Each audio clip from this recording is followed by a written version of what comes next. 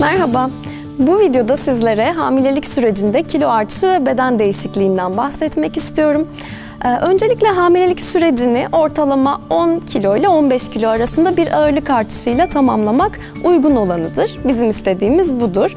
Ancak e, yüksek kilolarda hamile kaldıysanız, e, bir obezite probleminiz varsa e, bu dönemde ağırlık artışı olmadan da gebeliği tamamlamak mümkündür. Bir uzman eşliğinde yapılması gerekir.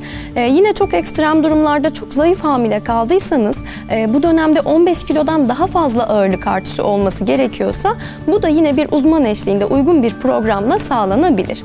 E, hamileliği biz genel olarak 3 kısma ayr- ayırıyoruz. Birinci 3 aylık periyot, ikinci 3 aylık periyot ve üçüncü 3 aylık periyot.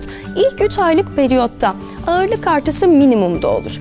Bazen bu dönemde bulantılardan kaynaklanan kilo kayıpları da gözlemlenebilir. Ee, çok normaldir. Ortalama bu aylar arasında e, 1-1,5-2 kilo ağırlık artışı normaldir.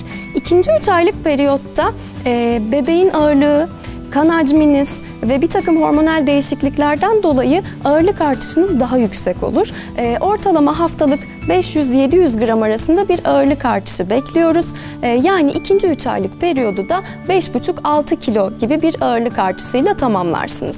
Son 3 aylık periyotta ortalama bir 4,5-5 kilo daha e, kilo artışı olur ve toplamda 10 ila 15 kilo arasında bir ağırlık artışıyla sürecinizi tamamlamanız mümkün.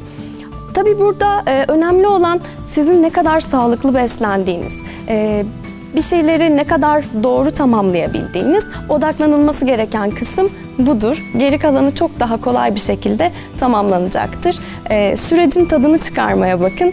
Sağlıkla kalın, sevgiyle kalın.